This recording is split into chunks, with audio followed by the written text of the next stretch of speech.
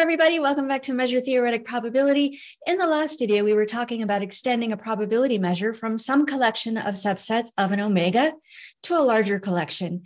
And in particular, we were talking about starting with a field. So that was our collection of subsets of omega and extending a probability measure defined on those sets to the sigma field generated by that field. So we had a non-empty set omega we had a field that we were calling F naught. We used this big curly F to denote the sigma field generated by F naught. We had a probability measure P, which takes in sets from the field and gives us numbers. And we are ultimately trying to define that probability measure for sets in the bigger sigma field. However, what we've started doing so far has not even considered that bigger sigma field we have just been looking at some subsets of omega, whether they're in the field, sigma field, or neither. So if you take any A subset of omega, our idea, since probability has been defined only for sets in the field F naught, was to cover this set with a collection of sets from F naught. So in this particular picture, this is an idea of covering the set A, and I'm assuming that these six sets that I've covered it with are all in F naught. So I've defined the probability measure for all of these. And if I add the probability measure for all six of these sets, that might be one idea about how to define a probability measure for the set A. But clearly, it will be too large for many reasons. One, we have this region, this stuff out here outside of A. Two, we've got some overlap in these sets. So we're double counting some stuff. And um, you might want to talk about the probability measure of the union of these sets. But sometimes it will take a possibly infinite and countable collection of sets to cover a set A. And that's not necessarily in the field F naught. And we can only work with sets that are in the field F naught. So uh, why not use disjoint sets? If we had disjoint sets, we might actually have a larger overall area. So here's a picture with two disjoint sets, presumably from F naught, covering A. And so if these two disjoint sets are from F naught, then we have defined P for both of these. So we can add the probability measure of both of these sets as an estimate for the probability measure of A, but you can see we've got a lot of extra stuff here. So maybe we want them disjoint maybe we don't, but we're going to consider all possible collections of sets from F naught that cover A and the total probability of adding all the individual probability measures of those sets.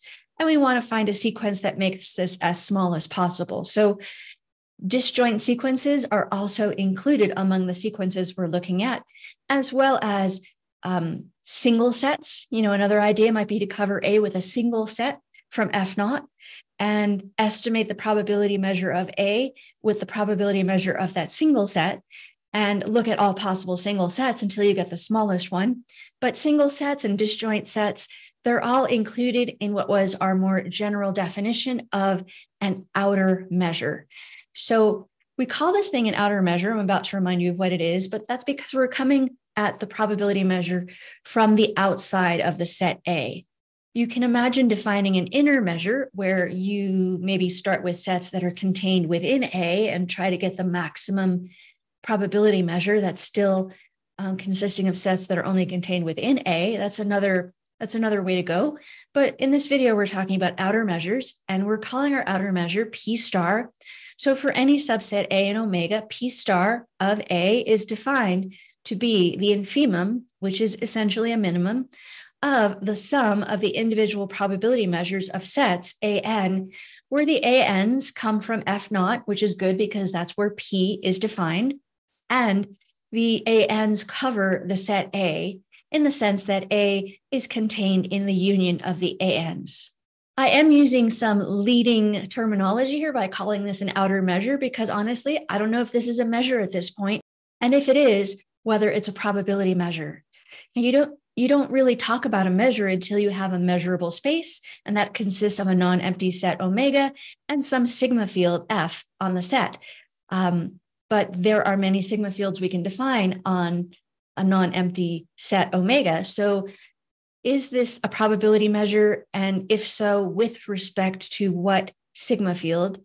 I'm hoping it's going to be the F, the sigma field that is generated by the original field F naught, but we'll see. Now, not only do we want to extend the probability measure, which right now is only defined to take in sets in F naught, but we want to not disturb those probabilities. This is why we call this an extension of the measure, because whatever our new probability measure P star is, if we actually plug in a set that's already in F naught, that already is measured by the probability function P, and we want that to stay the same. So we want P star of A, our new measure, to equal P of A, the old probability measure, if A is already in F naught where that old probability measure is defined. So when I say extend the measure, I mean like preserve it where it is and also define it for bigger sets outside of F naught. Now, so far, we have proven that P star of A is less than or equal to P of A when A is in F naught. And in fact, we want this to be equal and uh, we don't know that it's not, we just proved kind of half of the equality. If we can also show that P star of A is greater than or equal to P of A, then we will have equality between these things. But we have already shown this one. And let me remind you of all the other things we've shown. So we showed that P star of the empty set is zero, and that's a great thing because that's one of three properties we need for P star to be a probability measure. The other one is we need it to be countably additive, which means that if you have a, a, union of disjoint sets, possibly an infinite but countable union, the probability measure of that countable union needs to be the sum of the individual measures as long as they're disjoint. So we need P star of the empty set to be zero. We need that countable additivity. And we do need P star uh, to be between zero and one, with P star measuring the entire omega as one. So those are the three to four things, depending on where you want to break those sentences, we need from P star. But right now we know that P star of the empty set is zero, so we're on our way. We also showed last time that for any subsets A and B and omega, where A is a subset of B, P star of A is less than or equal to P star of B. And that was a consequence of having a measure. When we first defined measures, this was something that's true of all measures. It's true of what we've defined here, but it's not enough to tell us that we have a measure. So, again, this is just recapping a list of things we know. Uh, we also know that if A is in F naught, I, I already reminded you of this on the previous slide, that P star of A is less than or equal to P of A. And we do want equality here, but we've got at least half of it. And finally, the fourth thing that we showed in the last video is countable subadditivity. So if we have any sets A1, A2, etc., subsets of omega, for countable additivity, you need to look at disjoint sets, but for countable subadditivity, you do not. So A1, A2, A3, etc., subsets of omega, the P star measure of the union of these sets is less than or equal to the sum of the P star measure of the individual sets. This is something we showed in the last video, and it's not something uh, that's going to help us prove that we have a measure. So any measure does have this countable subadditivity property. But again, we need to show that P star of the empty set is zero. Got that. We need to show countable additivity, which is a statement much like this, but with disjoint sets and with equality. And we need P star of the full omega to be one. We're actually going to go about this in a kind of roundabout way.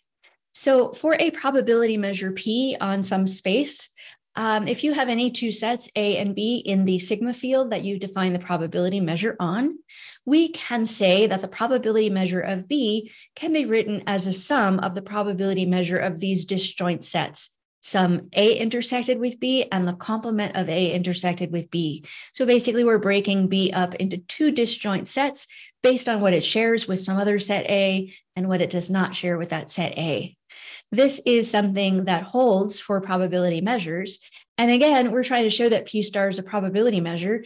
If we can show that this holds, that's not quite what we want. This is a consequence of being a probability measure. But is it enough to say that if this holds with P star in place of P, that we have a probability measure? Maybe, maybe not. Let's see what we can do with this.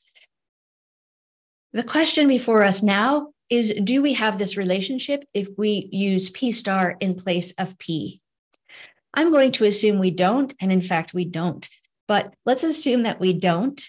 I am going to define a new collection of sets to be the collection of sets for which this will hold. So a collection of sets, we use a capital kind of script letter, and I'm going to use this kind of capital script curly M to denote the collection of subsets of omega. So the A's subsets of omega, for which P star of A intersect B plus P star of A complement intersect B is equal to P star of B for all B subsets of omega. If P star is a probability measure, this is always going to hold, but it's not depending on what part of the space you're looking at and what sigma field you're using. So right now, I just want to sort of restrict our attention to sets for which this holds. And I'm going to call this collection M. The good news is that we have part of this inequality already. Um, by countable subadditivity of P star, we do know that P star of any set B so I can write that set B as a disjoint union of the part of B intersected with some other set A and the part of B intersected with the complement of A. And so these two sets happen to be disjoint, but it's kind of irrelevant for what I want to claim because I don't know that P star is countably additive, but I do know it's countably subadditive, and that did not need disjointness. But that does say that P star of a union is less than or equal to the sum of the individual P stars. So you see here that I've got P star of B is less than or equal to a sum that looks like this. And that's always true. So if I want to show that um, some sets A satisfy this with equality, and I know it's always true when I have this as a greater than or equal to, then really I only need to show it when this is actually a less than or equal to symbol. In other words, there is an equivalent alternate way of defining M. I can define M as the collection of all subsets A of omega, such that this P star of A intersect B plus P star of A complement intersect B is actually, got to get this the right way now, less than or equal to P star of B for all B subsets of omega. I think both of these definitions are useful, so I'm going to hang on to both of them. They are equivalent, though, because we do have the reverse inequality always by countable subadditivity of P star. Now would be a good time for the disclaimer of this video. The proof of what we're ultimately trying to prove, which is that P star is a probability measure that extends P from F naught to F, is very long. And I am afraid that we're going to lose the forest for the trees. You know, it, it will probably take three videos. And by the time we reach the end of that third video, you won't even remember what we were originally out to show. So, what I'm going to do in this video is outline the plan, and I'm going to state a series of lemmas. A lemma is just a theorem, but usually one that's used to support another result and is not exactly the result of interest. So, I'm going to state a series of lemmas, and then at the end of the video, we're going to conclude that if all of these lemmas are true, we do have what we want. And then in the next video and possibly the next two videos, I'm going to prove the lemmas. But if you're not interested in watching those proofs, and I don't know who wouldn't be, I think they're they're fun proofs and good practice for analysis type proofs. Um, I will put in the description box below the next video where new topics pick up again. And by the way, the next new topic is going to be about limit sets. So the limit infimum and limit supremum of sequences of sets. You don't want to miss that, but you may want to miss a couple of videos between now and then. So it's up to you. Now, when you're watching this video, if there's nothing in the description box, that's because I don't know where I am yet because I'm filming as I'm posting. So I assume it's going to take two more videos before I get back around uh, to new stuff, but I will come back here and let you know. So lemma one, we're going to prove that this set curly M is a field. So that's three things we have to show there, and that's going to be pretty routine. Lemma two, we're going to show that countable additivity holds with the measure P star for sets in M. So far, we have countable subadditivity for all subsets of omega, and that is a weaker statement with an inequality and not necessarily disjoint sets. But we're going to get the stronger result of countable additivity using the P star measure on the collection of sets in M. We're then going to put these together to conclude that M is a sigma field. And it's not entirely obvious here because we will have a field. And so we'll need to add to that the fact that M to be a sigma field is closed under countable unions, not necessarily finite unions. And that really has nothing to do with the measure P star. So that's not really a consequence of lemma two, but lemma two will help us prove lemma three. So we're going to need lemmas one and two to prove lemma three. Once we have that, we're going to go on to lemma four. And that is, we're going to prove that F naught, our original field, is contained in this space M. So that's going to tell us that we do know for all of the sets in the field F naught, where we already have defined a probability measure, we do have the that defining characteristic of being an M, that P star of A intersect B plus P star of A complement intersect B is equal to P star of B for all A in F naught and for all subsets B in omega. For our fifth lemma, we're finally going to prove that P star is in fact the same thing as P for sets in F naught. And in lemma six, we're going to prove that P star is in fact a probability measure on the sigma field curly M. Now, what does it have to do with the sigma field we actually care about? Curly F, which is the sigma field generated by the field F naught. Here's how we put this together. These lemmas tell us that the sigma field F is sandwiched between the field F naught and the sigma field M. So why is this? We have M is a sigma field we will have proven lemma four, I think I've already forgotten that F naught is contained in M. So if this is another collection and it's a field contained in M, then remember how F is defined. It is defined to be the smallest sigma field that contains F naught that contains all the sets in F naught. And we've already seen this exact kind of picture. If you suppose that we have a sigma field that contains F naught, that is at least in a picture in area, heuristically smaller than M, it can't go outside of M like this. We know it can't because we proved that the intersection of sigma fields is a sigma field. So if F, the smallest sigma field containing F naught, goes outside of M, then this intersection of F and M, which are both sigma fields, is again a sigma field that contains F naught. And that contradicts the fact that F is the smallest sigma field containing F naught. So we have now just reproven that if you have a field contained in a sigma field, then the sigma field generated by the field must be sandwiched between them. Another important thing that the lemmas give us is that P star is a probability measure on F that agrees with P on F naught. We will already have shown that P star agrees with P on F naught as one of our individual lemmas. And the fact that P star is a probability measure on the sigma field M and that the sigma field F is contained within M means that P star is a probability measure on the smaller sigma field. And there would be a few things to check here. One is that um, the, the smaller sigma field necessarily contains the empty set, and P star of the empty set is zero. Um, the next is that if you take a countable collection of sets in F, the union is then in F because F is a sigma field. And we already have shown or will have shown that P star of that countable union, if they're disjoint, is equal to the sum of the individual P stars. So we have countable additivity using uh, P star, but only picking sets out of F. And finally, F being a sigma field has to contain the full omega, and F naught contains the full omega.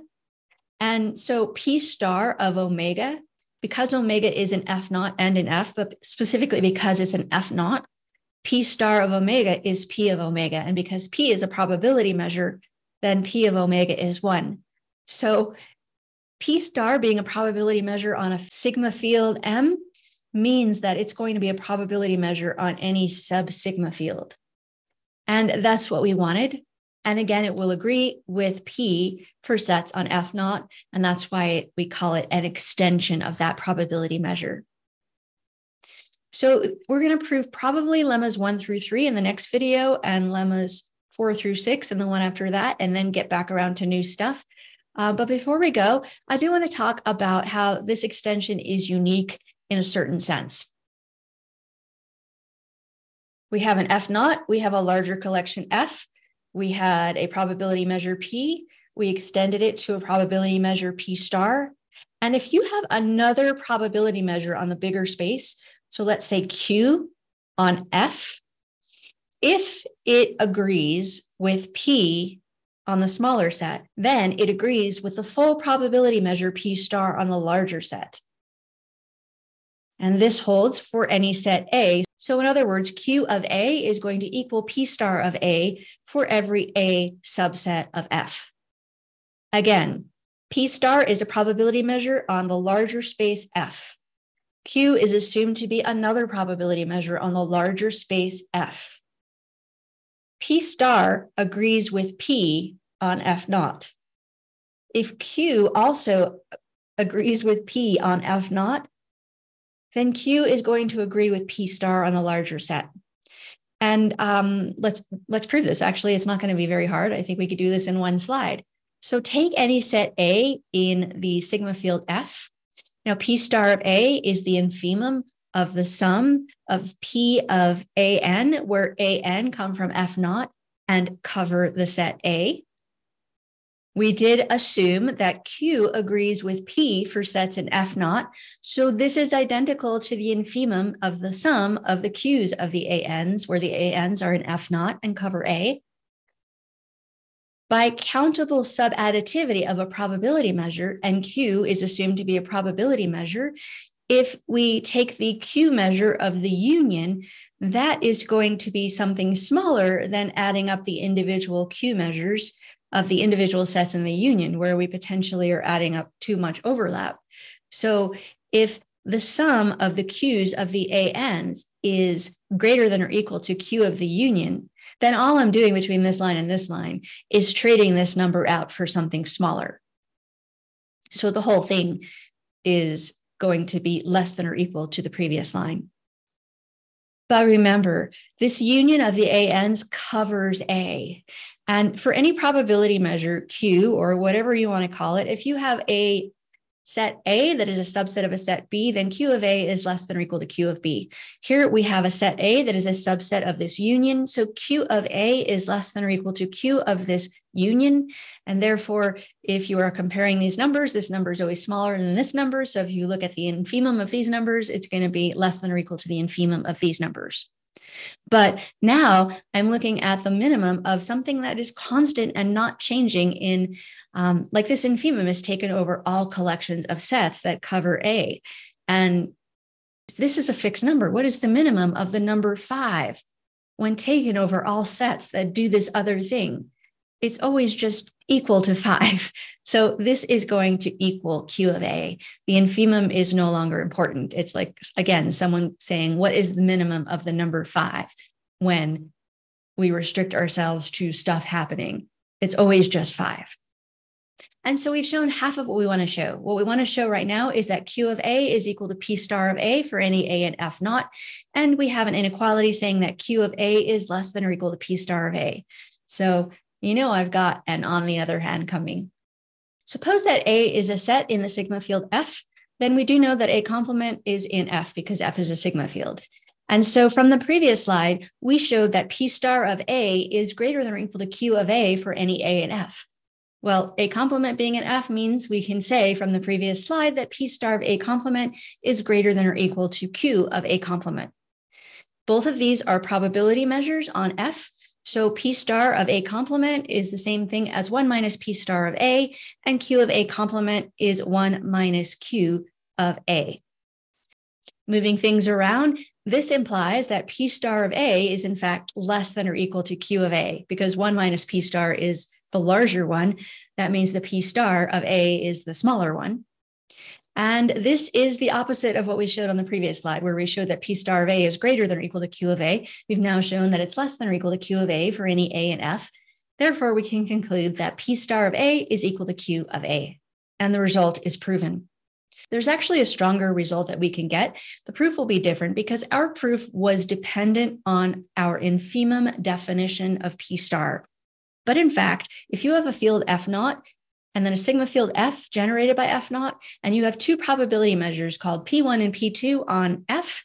If P1 of A equals P2 of A for all A in F naught, they're going to have to be equal for all A in F. So this has nothing to do with our outer measure definition. This is true for any two probability measures on a sigma field. If the probability measures again are equal, when you plug in sets on the underlying field, then they're going to be equal uh, for pl- when you plug in any sets on the bigger sigma field. And I'm not going to prove this one. It's not that we can't, but um, I do want to kind of move on. You can find a proof of this in Patrick Billingsley's uh, book, Probability and Measure. It's my all time favorite uh, kind of Bible of measure theoretic probability it's kind of intense book. I'm not sure I would take it as my first book for learning about measure theoretic probability, but it's it's something I always want on my shelf to reference. And um, I would give you the theorem number, but I'm not sure. Um, I'm not sure because of the different editions. So I think it's maybe in chapter three. And I also think that you're not going to see uh, a field in the statement of the theorem, but something known as a pi system. A pi system is a collection of sets with some properties that that uh, the properties are weaker than that of a field, and we will eventually talk about pi systems in this course. So, I think that's all we're going to do for today. It's a little bit short, but uh, in the next two videos, I will prove those six lemmas if you're interested. Otherwise, come back for the one after that, and we'll start to talk about the lim sup and lim inf of sequences of sets. So I will see you in the next one or the one after that, or maybe the one after that.